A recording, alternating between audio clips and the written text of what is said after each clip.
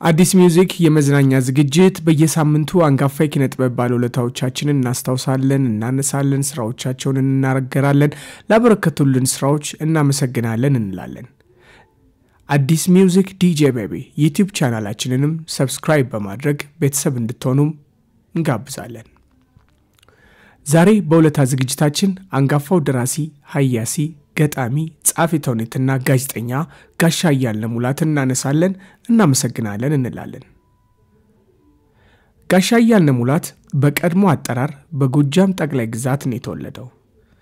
አንደኛ ደረጃ ትምህርታቸውን አገው ምድር፣ ሁለተኛ ደረጃ ትምህርታቸውን በደብረ ማርቆስ ትምህርት ቤቶች ተከታትለዋል። ከፍተኛ ትምህርታቸውን ደግሞ አዲስ አበባ ዩኒቨርሲቲና የወቅቱ የኢትዮጵያ ደራሲያን ማህበር ባስገኘላቸው ነፃ የትምህርት ዕድል በመጠቀም በቀድሞ ሶቪየት ኅብረት በሞስኮ የመንግሥት ዩኒቨርሲቲ በሥነ ጽሑፍና ጋዜጠኝነት በ MA ዲግሪ ተመርቀዋል።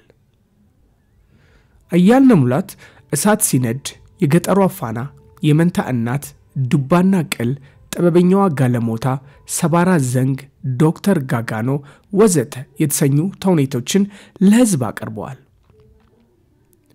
እያልነ ሙላት በኢትዮጵያ ቴሌቪዥንም ዓለም ቅሬት፣ ቀዝቃዛው ትዳር፣ ጧሪ ልጆች፣ ባልና ሚስት፣ ግርዛት፣ መስከረም፣ ቡሄ፣ የእናት ጡትና ያለ ዕድሜ ጋብቻ የተሰኙ ድራማዎች ታይተውላቸዋል። በኢትዮጵያ ሬዲዮም ቤተሰብ፣ ሴት ተማሪ፣ ጠለፋ፣ ዶክተር ሙሉ፣ ሴት ለጓዳ፣ ሕግና ሕጋዊነት ወዘተ የተሰኙ ተውኔቶችን ለሕዝብ አቅርበዋል። እያልነ ሙላቱ የሥነ ጽሑፍ ቅኝት፣ የአሌክሳንደር ፑሽኪን የሕይወት ታሪክ፣ ማን ይሆን የበላ፣ ጥገት ላም የተሰኙ መጻሕፍትንም ለህትመት አብቅተዋል። ጽጌረዳ ብዕርና ትግላችን በተሰኙ የሥነ ግጥም መድብሎች ውስጥም ከሌሎች ደራሲያን ጋር በመሆን ሥራዎቻቸውን አቅርበዋል። በሥነ ጽሑፍ ሥራዎቻቸው ልዩ ልዩ ሽልማቶችን ለማግኘትም በቅተዋል። ጋሻ እያልነ ሙላት ሀገራቸውን በመምህርነትም አገልግለዋል።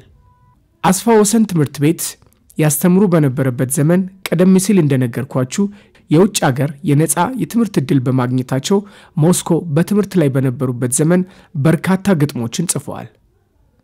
አብዛኛዎቹ በሞስኮ ሬዲዮ የአማርኛ ክፍል ጊዜ አየር ላይ ውለዋል። እኚህ ታላቅና ዘርፈ ብዙ ባለሙያ ከ1962 እስከ 1967 በሞስኮ ዩኒቨርሲቲ ተማሪ በነበሩበት ዘመን በጋዜጠኝነት ሙያም በመስራት በሞስኮ የአማርኛ የሬዲዮ ክፍለ ጊዜ ሰርተዋል።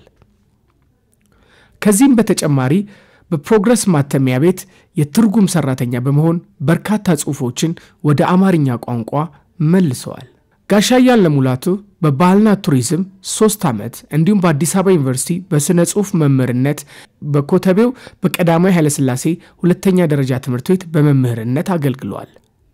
በዛን ወቅት ማለትም በ1961 ዓ ም መጨረሻ ላይ ትምህርት ቤቱ የመምህራን ማሰልጠኛ ተቋም ሲሆን ወደ አስፋ ወሰን ሁለተኛ ደረጃ ትምህርት ቤት ወይም ምስራቅ አጠቃላይ በመዘዋወር ሙያዊ አገልግሎታቸውንም አበርክተዋል። አዲስ Music ዛሬ በውለታ ዝግጅታችን አንጋፋው ደራሲ፣ ሀያሲ፣ ገጣሚ፣ ጸሐፊ ተውኔት፣ መምህርና ጋዜጠኛ የሆኑትን ጋሽ አያልነህ ሙላቱን አስታወስን። ላበረከቱልን ሥራዎችም እናመሰግናለን አለን። ረጅም ዕድሜና ጤናን ተመኘን። መልካም መዝናኛ